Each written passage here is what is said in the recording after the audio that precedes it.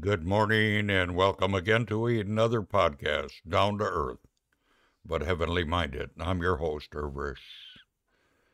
Today we're going to look at an article about Judas by Steve Hulshizer.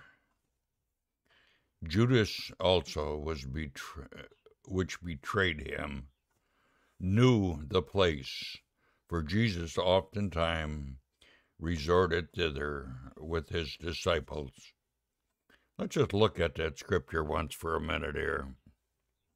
It says, Now Jesus, the one who betrayed him, knew the place too, because Jesus had met there many times with his disciples. Kind of an important scripture to remember. Being deceived is a terrible experience. Being led to believe something is true when in fact it is false, can be very harmful. Nowhere is it more true than when it comes to salvation. For a person to believe he is saved when in fact he is not is very sad. You know, Judas traveled with Jesus for three years or so. He saw all the miracles and sat under Jesus' teaching all that time. He was even trusted treasurer of the small band.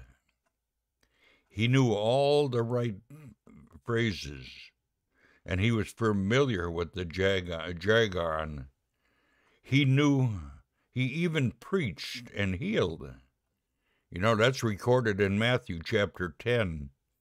You can look at verses 1, 4, and 7. Well, he knew all the right people.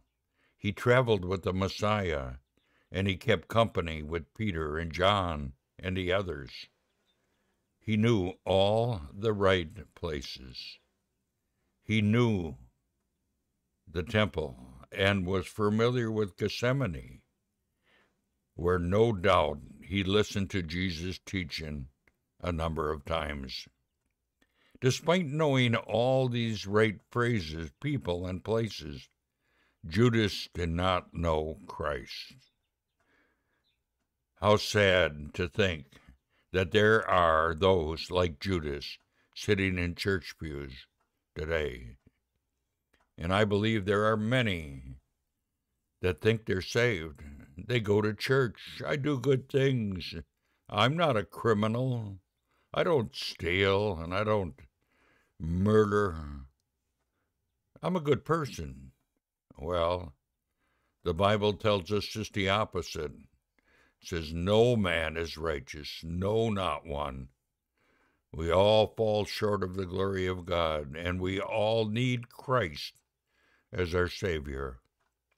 And there are a lot of people, just like Judas, who think they're all right. I know Jesus. I follow him. Well, you don't know him. You'll never get to heaven. You'll never be with the Lord for all eternity. So it's time that you think about these things. Don't be a Judas. Be a true believer, a true follower in the Lord Jesus Christ.